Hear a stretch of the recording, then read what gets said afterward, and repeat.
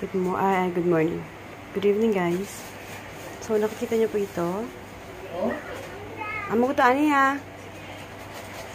Skincare from Atomy.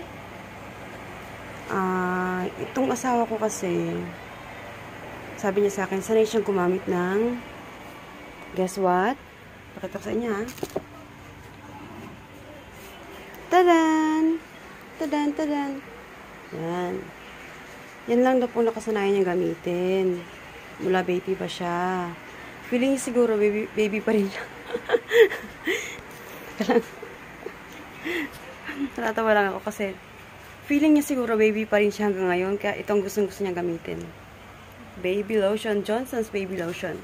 Yan. Sabi niya kasi, ito ang nakasanayan niya. At uh, feeling niya siguro, ano, ang linis-linis ang mukha niya pag itong gamit niya. Eh, syempre, sa, edad niya, 40 plus na kasi siya, mag-50 na po siya. Sa edad niyang yan, hindi to dapat ang gamit niya, ba? Kahit naman siguro sino. Sa edad, kahit ako, 30 plus na po ako, mag-40 na rin ako, dapat ang ginagamit natin, naayon sa edad natin. Kaya mga ganito, tingnan nyo, pangalan pa lang, pang-baby na talaga siya, di ba? Yung mga contents niya po, yung mga, uh, nandito, uh, mga, nandito sa loob niya, pang lang talaga siya. Hindi na bagay sa edad niya. Hindi na bagay sa skin niya. Kaya ininsist ko talaga sa kanya, pinil ko talaga sa kanya na magpalit na siya ng gamit.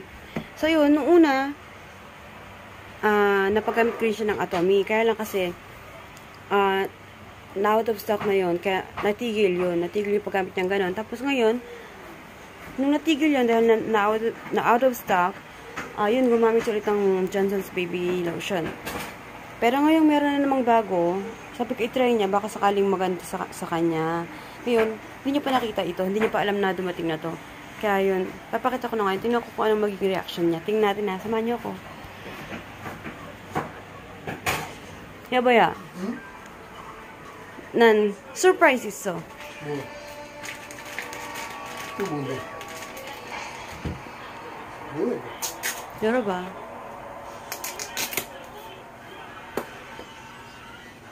어, 뭐야? 남자들을 위한 퍼펙트 스킨케어 여보 남자 맞지? 고마워 남자 맞지? 남자 맞지? 어, 어, 어. 남자 맞아? 아 이거 보여줘? 이따가 밤에 아야 아니 근데 여보 베이비 맞아? 어? 베이비야? 나? 어 베이비 아니지? 어쨌든 베이비지 베이비 아니니까 얼굴 베이비 아니니까 어. 그래서 내가 이거 이거 쓰려고 어 시킨 거야 고마워 이거 뭐야?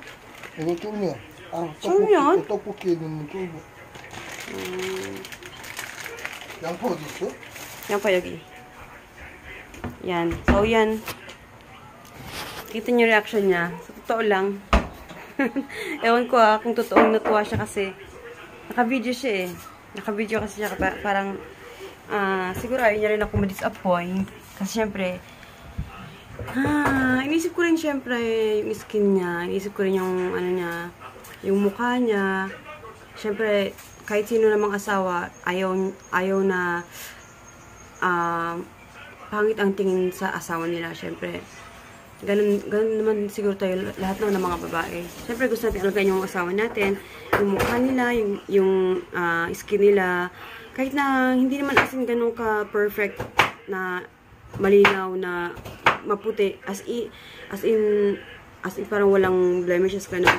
Pero at least yung iniba mukhang masyadong nakawawa yung mukha, lalo na yung asawa ko kasi nag, ang trabaho niya kasi uh, nag-aano siya, nag uh, nagde-deliver siya sa uh, house to house po. Ganun. Ngayon, syempre pag nagde-deliver siya, lalo may mainit ang panahon, yung skin niya, nasusunog. Then, lalong parang nagiging, ano ba, nagiging, no, masyadong naano yung mukha, parang nangingitim. Ganon. Tapos, parang, lalo siya magkakaedad tingnan kasi nga hindi maganda yung ano ng skin niya. Kaya at least at least mga ganito man lang. 'Di ba? Yan. Kaya mga ganito man lang mga skincare na ginagamit sa mukha ng mga lalaki, maalagaan man lang. Kaya yun, yun, sinare ko lang sa inyo sa sa mga comment sa baba, pwede nyo pong i-share sa akin din at sa aming lahat kung ano po yung mga magandang ah, ah, paraan nyo ng pag-aalaga sa mukha ng inyong mga asawa. Yan po. I-share nyo para po ano, ah, malaman din namin, magkaroon din kami ng idea kung paano mag-alaga sa ah, mukha ng ating mga asawa. So, mommies, wifeys, share to us kung ano mga paraan nyo po para naman to, uh, ma ma namin maayos yung aming mga asawa. Ano po? Kasi ako, kulang ako sa idea. Wala po talaga akong idea kung paano mag-alaga, mag-alaga ng skin ng lalaki. Kasi sa mga nakikita ko sa, sa iba, parang, yung ibang Koreano, ang kinis-kinis sa mukha nila. Hindi ko alam kung anong ginagawa nila, kung paano ba an, ang dapat gawin, kung ah, may iba pa bang ina-apply. Maliban sa ah, lotion, toner, essence, maliban sa tatlong yun, meron pa bang ibang ina-apply? Eh kasi itong asawa ko, ayaw niya rin kasing nag-ano, nagma-face ah, face mask, ayaw niya. Nala- nalalagitan daw siya, ayaw niya ng ganon. Kaya, ang hirap niya po talaga alagaan, ang hirap alagaan ng mukha niya kasi nga, siya mismo ayaw niya. Kaya, paano siya, paano ko siya matutulungan kung siya mismo ayaw niya, di ba? Kaya baka pa meron kayong alam na simpleng paraan, simpleng paraan para ah, matulungan ko siyang alagaan yung ano niya, yung balat niya. Para hindi naman siya lalo magmukhang matanda. Ano po, hindi lang sa numbers, pati yung mukha syempre alagaan.